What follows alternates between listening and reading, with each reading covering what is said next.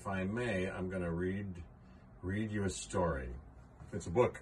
I like it a lot. Um, uh, uh, my my mom read this to me when I was a kid, and I've got this. This isn't. It looks uh, weathered like this because this isn't the one I had when I was a kid, but I've had this a long time, and um, it's you can't see it. This is uh, Horton Hears a Who. It's called Horton Hears a Who. You see it there? Horton Hears a Who, and uh, it's by Dr. Seuss. I'm gonna read it. Here's the. Uh, this has been. This is has some other inscription on it. And there's there's a little picture on the front page. Gives you an idea of what's going to happen. Here we go. It's like a trailer. A Who. A Who. Exclamation point by Dr. Seuss. Oh, I never noticed this. I haven't read this in a long time either, so as I rediscover it, maybe you can rediscover it with me. Um, I've never noticed this. There's a dedication for my great friend Mitsugi Nakamura of Kyoto, Japan. Dr. Seuss says. Okay.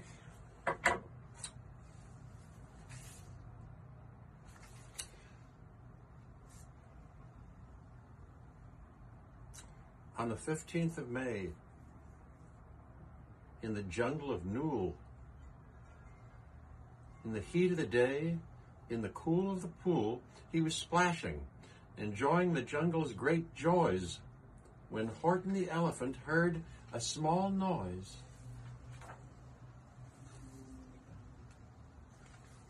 So Horton stopped splashing. He looked toward the sound. That's funny, thought Horton. There's no one around. Then he heard it again, just a very faint yelp, as if some tiny person were calling for help. I'll help you, said Horton, but who are you? Where? He looked and he looked.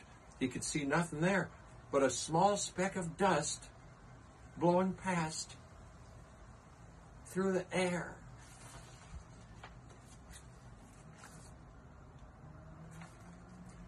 I say, no, murmured. I, I say, I say, I say, murmured Horton. I've never heard tell of a small speck of dust that's able to yell. So you know what I think? Why, I, I think there must be someone on top of that small speck of dust. Some sort of a, a creature of very small size. Too small to be seen by an elephant's eyes. There it is. Look, there's the big eye. There's the there's that little speck. Oh, uh-oh, uh-oh. There it is. Some poor little person who's shaking with fear that he'll blow in the pool. He has no way to steer. I'll just have to save him. Because after all, a person's a person, no matter how small. Uh-oh so gently, using the greatest of care.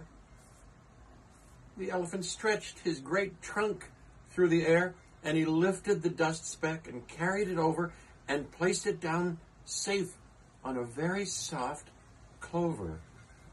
There's the clover.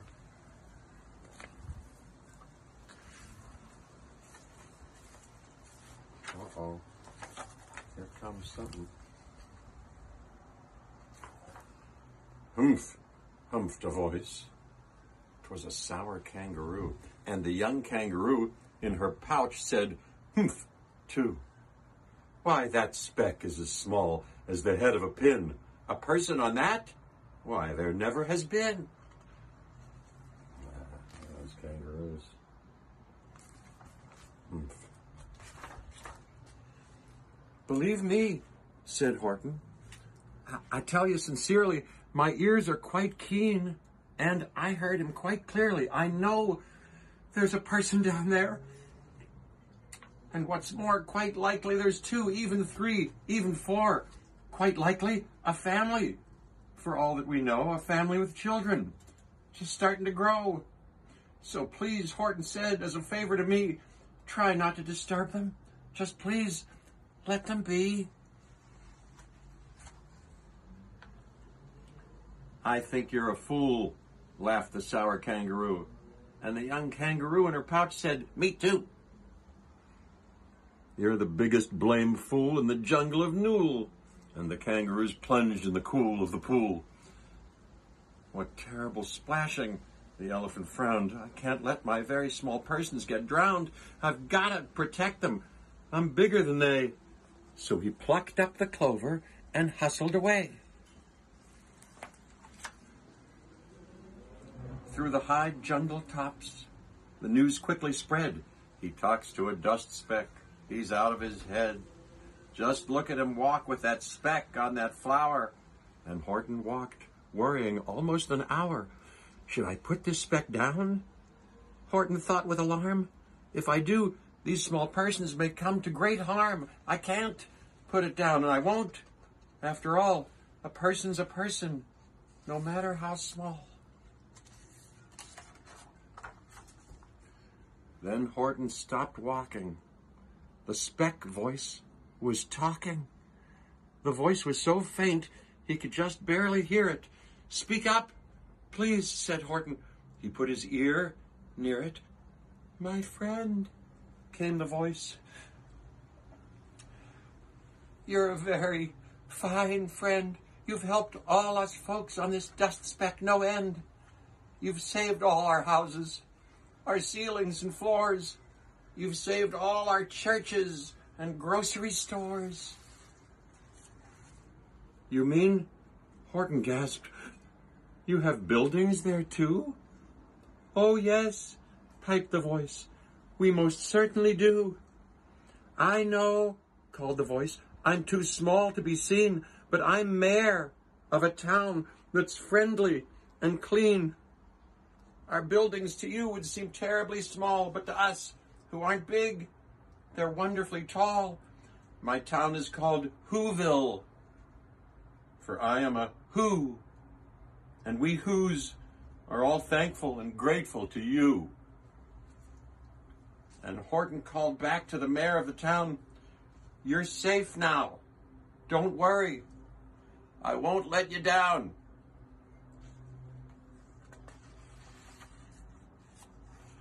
But just as he spoke to the mayor of the speck, three big jungle, no, three big jungle monkeys climbed up Horton's neck.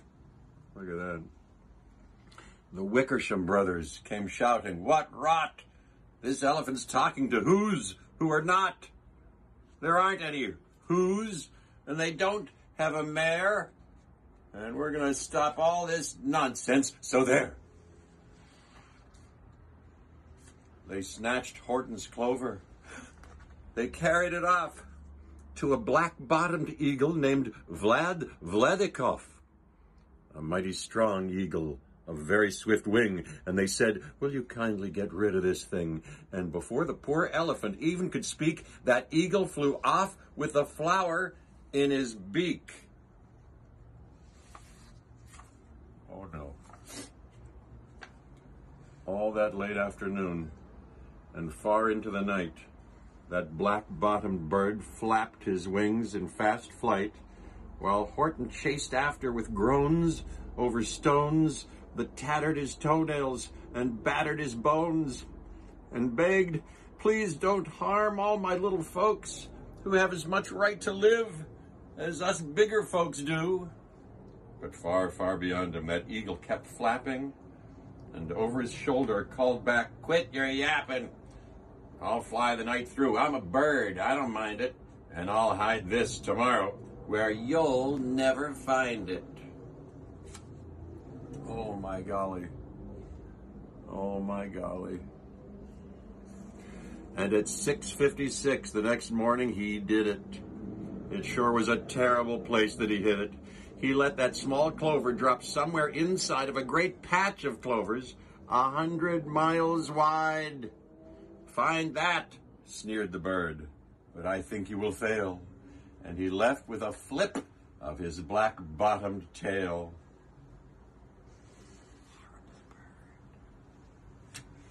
I'll find it, cried Horton. I'll find it or bust. I shall find my friends on my small, small speck of dust. And clover by clover by clover, with care, he picked up and searched them and called, Are you there? But clover by clover by clover, he found that the one that he sought for was just not around. And by noon, poor old Horton, more dead than alive, had picked, searched, and piled up 9,005. Oh, my golly.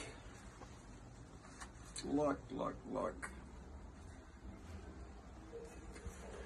Then, on through the afternoon, hour after hour, till he found them at last, on the three millionth flower. My friends, cried the elephant, tell me, do tell, are you safe? Are you sound? Are you whole? Are you well? From down on the speck came the voice of the mayor. We've really had trouble, much more than our share. When that black bottomed birdie let go and we dropped, we landed so hard that our clocks have all stopped. Our teapots are broken, our rocking chairs smashed, and our bicycle tires all blew up when we crashed. So, Horton, please, pleaded that voice of the mayor's, will you stick by us Whos while we're making repairs? Of course, Horton answered, of course I'll stick. I'll stick by you small folks through thin and through thick. Oomph, oomphed the voice. For almost two days you've run wild and insisted on chatting with persons who've never existed. Such carryings on in our peaceable jungle. We've had quite enough of your bellowing bungle.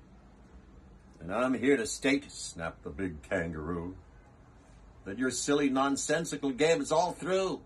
And the young kangaroo in her pouch said, Me too. Look at that.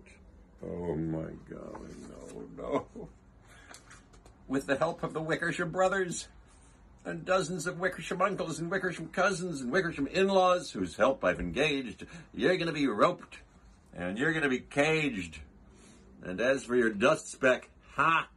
That we shall boil in a hot steaming kettle of beezle nut oil. Boil it? gasped Horton. Oh, that you can't do. It's all full of persons. They'll prove it to you. Mr. Mayor, Mr. Mayor, Horton called, Mr. Mayor, you've got to prove now that you really are there. So call a big meeting, get everybody out, make every who holler, make every who shout, make every who scream. If you don't, every who is going to end up in a beezle nut stew. Bad news. And down on the dust speck, the scared little mayor, quick, called a big meeting in Whoville town square, and his people cried loudly. They cried out in fear, We're here! We're here! We are here! We are here! Look at that. They're all crying out loudly. We are here. We are here. We are here. The elephant smiled. That was clear as a bell. You kangaroos surely heard that very well. All I heard, snapped the big kangaroo, was the breeze and the faint sound of wind through the far distant trees. I heard no small voices, and you didn't either. And the young kangaroo in her pouch said, Me neither. You've got to be kidding. Got to be kidding. Grab him, they shouted, and cage the big dope. Lasso his stomach with ten miles of rope. Tie the knots tight so he'll never shake loose. Then dunk that dumb speck in the beezle nut juice. Horton fought back with great vigor and vim, but the Wickersham gang was too many for him. They beat him, they mauled him, they started to haul him into his cage. But he managed to call to the mayor, Don't give up! I believe in you all! A person's a person, no matter how small. And you very small persons will not have to die if you make yourselves heard. So come on now and try. The mayor grabbed a tom tom. He started to smack it, and all over Whoville they whooped up a racket. They rattled tin kettles. They beat on brass pans, on garbage pail tops, and old cranberry cans. They blew on bazookas and blasted great toots on clarinets, umpas, and bumpas, and flutes. Look at them all go to town. Look at them. Great gusts of loud racket rang high through the air. They rattled and shook the whole sky, and the mayor called up through the howling, mad hullabaloo, Hey, Horton, how's this? Is our sound coming through? And Horton called back, I can hear you just fine, but the kangaroo's ears aren't as strong quite as mine. They don't hear a thing. Are you sure all your boys are doing their best? Are they all making noise? Are you sure every who down in Whoville is working? Quick, look through your town. Is there anyone shirking? Through the town rushed the mayor from the east to the west, but everyone seemed to be doing his best. Everyone seemed to be yapping or yipping. Everyone seemed to be beeping or bipping, but it wasn't enough. All this ruckus and roar. He had to find someone to help him make more. He raced through each building. He searched floor to floor. And just as he felt he was getting nowhere and almost about to give up in despair, he suddenly burst through a door, and that mayor discovered one shirker quite hidden away in the Fairfax apartments, apartment 12J. A very small, very small shirker named Jojo was standing, just standing and bouncing a yo-yo. Not making a sound, not a yip, not a chirp. And the mayor rushed inside and he grabbed the young twerp. Look at that. There he is in 12J. Fairfax Apartments. There he is. Look at him. Oh my God. Uh, and he climbed with the lad up the Eiffelberg Tower. This, cried the mayor, is your town's darkest hour. The time for all Whos who have blood that is red to come to the aid of their country. He said, We've got to make noises in greater amounts. So open your mouth, lad, for every voice counts. Thus he spoke as he climbed. When they got to the top, the lad cleared his throat and he shouted out, Yop! Yop! And that yop, that one small extra yop, put it over. Finally, at last, from that speck on that clover, their voices were heard. They rang out clear and clean and the elephant smiled. Do you see what I mean? They've proven they are persons, no matter how small. And their whole world was saved by the smallest of all. How true. Yes, how true, said the big kangaroo. And from now on, you know what I'm planning to do? From now on, I'm going to protect them with you. And the young kangaroo in her pouch said,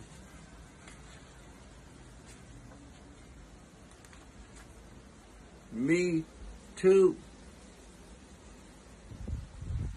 From sun in the summer, from rain when it's fallish, I'm going to protect them, no matter how smallish. Well, that's wonderful. I'm sorry. I, I, I'm a little sensitive right around now, and I'm sorry if I was overwrought. But, geez, I find that not only a wonderful story, um, beautifully pictured, but um, but uh, apropos to our time, I wish you all well, and. Uh, and I, I, I, I hope that we all do whatever we can, no matter how small. Signing off. Uh, I love you all.